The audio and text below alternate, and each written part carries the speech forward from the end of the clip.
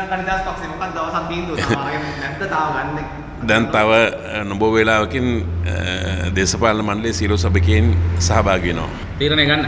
ඔව් තීරණය ගන්න. දැන් මේ මොන වගේ එකකින්ද යන්න බලාපොරොත්තු වෙන්නේ? අතද පුටුවද? නෑ ශ්‍රී ලංකා නිදහස් පක්ෂයේ ප්‍රමුඛ පුළුල් සන්ධානකින් අපි යන්න බලාපොරොත්තු වෙන්නේ. ඒ කියන්නේ අර මේ සිලින්ඩරේ නැතුව නෑ ඒක සිලින්ඩරේ වෙන්නත් පුළුවන්. තාම අපි දැන් මට පොදුවේ පෞද්ගලික තීරණ කියන්න බෑනේ පක්ෂයක් විදිහට පක්ෂයේ අර ලේකම්තුමා දැන් එනවා.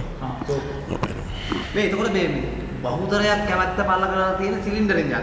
එතකොට ඔබතුමාලා විතරයි දැන් පුටුවෙන් යන්න ඕන කියලා තියෙනවා. නෑ අපි කිව්වේ තවදුරටත් පොදුවේ පක්ෂයේ විදායක සභාව සහ ඒකගේ අනුමැති අරගෙන අපි දැනුම් දෙන්නම් කියන එක. තාම ෂුවර් නැහැ මොකෙන්ද යන්නේ කියන එක. නෑ ඒ පිළිබඳව දැන් සාකච්ඡා කරමින් පවතින්නේ. හැබැයි ජයසිරි ජයසේකර මහත්තයා කියලා තියෙනවා. මැතිවරණ මේ කොමිසම් සභාවට ලිපියක් කියවලා තියෙනවා.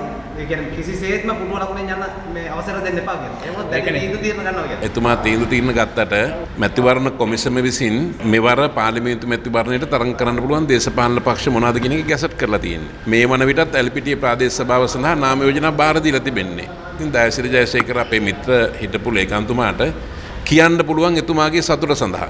දැන් අපි දැක්ක ශ්‍රී ලංකා නිදහස් පක්ෂ මේ පිරිසක් මේ ජාතික ජන බල වේගයට කොන්දේසි විරද හිතව සහාය දෙනවා. ඔව් මම ඔව් මං ඊයේ ඊයේ ඒක දැක්කා. ඔව්. මොකද හිතන්නේ ඒ ගැන? නෑ ඉතින් හොඳයි ඉතින් පෞද්ගලික ඕන කෙනෙකුට ප්‍රජාතන්ත්‍රවාදී රටක කැමැති දේශපාලනයක් හදාරන්න පුළුවන්කමක් තිබෙනවා.